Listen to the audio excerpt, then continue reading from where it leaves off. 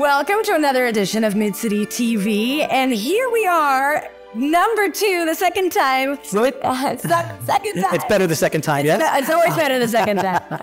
With Helen Van Baltus, the first interview, which you can check in the link below. We went to Howard's house and he was preparing for this big grand show of illusion that is now coming upon us. Yes, like almost two years later. Almost two years later. So now we are at the theater. This is the theater La Libertad in the southern part of Centro. Well, Centro on the 65. Mm-hmm. On the 65. So, Howard, tell us about your process, and we are almost there. The show, the first show is going to be April 20th. Nervous. Getting close, it's getting close. It's actually fun. It's a combination of magic, music, dance, art, a little bit of culture, and a whole lot of grand illusions like you see behind. Yes, there are all sorts of boxes and contraptions and torture devices. torture devices. So she's gonna, are you gonna like cut a woman in half? We're not going to go that far, but I- you know, we were going to keep some of the things for a surprise. But yeah, there's some very weird and strange elements to the show. Ooh, I'm excited. I'm excited. So, okay, so tell us about this process and tell us about what it is that we're going to see because it's really a unique show here in Merida. Yeah, it is. There's nothing like it. I don't think there's anything anything like this at all before. It's not just a magic show because I don't think a magic show would just work here. It has to be it has to be more. There has to be other elements involved. Every every Well, show you were does that- saying the, the difference between magic and illusion. So, Oh well, uh, you know. Well, first, illusionists make more money than magicians, which is the you know, that's the reason I said that. But but you know, was a joke. boom, boom, boom. Um, illusions are magic tricks, but in a very big way. Uh, they're usually done on stage. You need a lot of space to to do illusions, and a lot of people. We have 16 people in our cast and crew. six, how Six, many? 16. 16. 16 right now, yeah. And there are um, professional dancers. Dancers, actors, acrobats, just incredible people. And they're from Merida? They're from around. Most of them now, right now, most of them are from Merida, but we have people sometimes, we've had people and we still continue to have people from other parts of the world. We have people from now, you know, Venezuela, my mind always goes blank with that for some reason. Venezuela, um, Hungary, and they, they work also behind the scenes. Right. They're not always up here in front, but I'm trying to get one of them who's, who's my trainer out in front because he's great at this kind of stuff. Right. So, what has the process been like? I mean, I know you guys have been working really hard, Yeah. practicing a lot of rehearsing. Let's A lot of rehearsing. Yeah, we're here two nights a week. We actually were in another theater, um, Carlos Acereto. For, Right. uh, uh, for I was I was ready to shift right into Spanish there, Right. force of habit, for two years.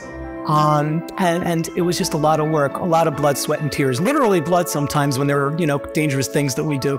Uh, and, and definitely sweat because, well, you know, it's Merida. blood and injuries. possible. Yeah, yeah, we won't talk about those right now, though. Um, but it's it's it's a lot of preparation because it's not a, just a show of dance. It's not just a, a music show. It's it's magic, music, dance, which incorporates a lot of movement, a lot of choreography. It's you you first have the, the sequence essentially is you learn how the illusions work, and you practice the moves to make them the, the illusion look like real magic. Right. Once that's done, you start to work on other elements like timing to make it boom fast instead of boom. Sure, it's a total production. It, it is, it is. And then you have to work on the choreography of the illusion itself with the people involved in the illusion. Then you add the music. Then you add the lighting, which is a whole other realm, you know. Yeah. And the whole cool thing is you add the curtains.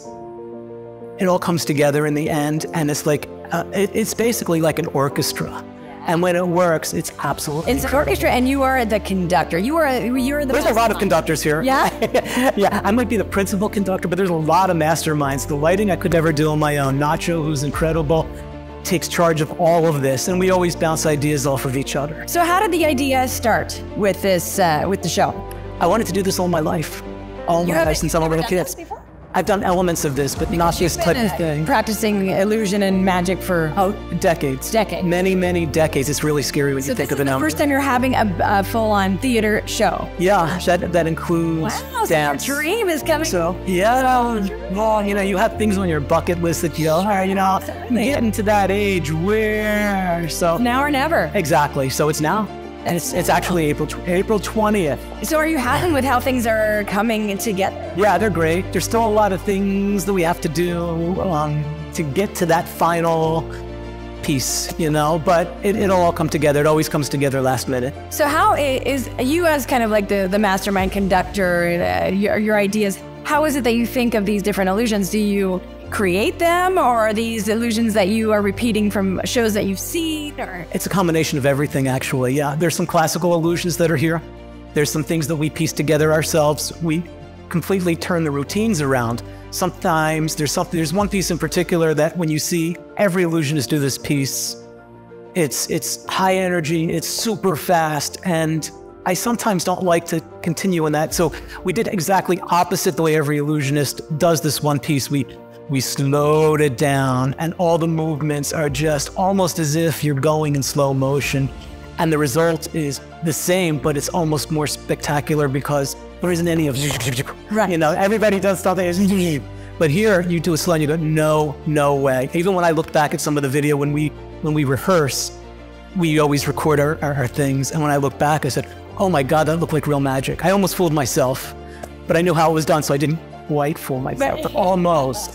You know, you know the tricks. And I'm, I'm going to get a little uh, backstage, is backstage uh, scene here of uh, some of the illusion. Yes, you are. And we might put you in one too. Oh, Lord. Yeah. oh, yeah. So, so when people come to the show, what experience are they going to take with them? What do you hope that they that they take with them? So, my whole job is to create an experience that brings you back to a moment of childlike innocence, you know, where everything is new, everything is wondrous, everything is just, oh no, wow, it's just incredible. So, the show is put together in such a way so that you think you're walking down this one path, and all of a sudden, Nah, you're not. It goes into a completely different direction. Sometimes it goes into a direction that's really dark and scary and weird. And sometimes it goes into this fun, oh my God, oh my God, this is really cool, you know, kind of a thing.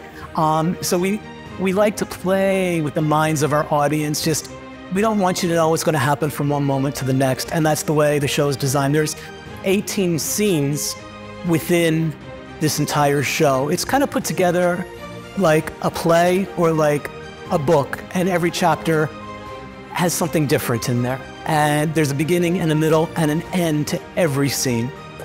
So hopefully something that will stay with everybody for a really long time. And and how long is the show? The show's about an hour and a half. We we hope to try to do something that's different as far as the concept goes. Most shows here, and I've been to a lot of them that are incredible, but they're they're here for a day, maybe three days if it's a, a long running show here, Right. and then they're done. And then there's another show that comes in to take their place. I want to try to create something that you see in Las Vegas, something that you see on Broadway. It's it's a, more of a long running show. From time to time, the elements within the show change. Sometimes the entire show will change. So maybe like once a, a month or once every. I would like to do this every week. oh, really? I would like to, yeah. Right now we're slated in, in April for Thursdays and Fridays, beginning on the 20th. And then we'll see where it goes. If, if, it, if it works the way I'm, I'm, I'm hoping that it works, um, we're, we'd like to continue it and see where. Excellent. And, and where can people get tickets? Right now, they can go to tusboletos.com. And they also, once you're there, they have some physical locations as well um, where you can just purchase tickets. And also, if you don't have a credit card, you can buy tickets through OXXO and pay cash there. Great, great. And I'll leave all the information in the description box. So check Yep. below as well. Well, great. We are super excited, and uh, we're gonna take a take a look at some of the behind the scenes here. Cool. Well, thanks, Howard. You're welcome. Thank you. Always a pleasure. Yes.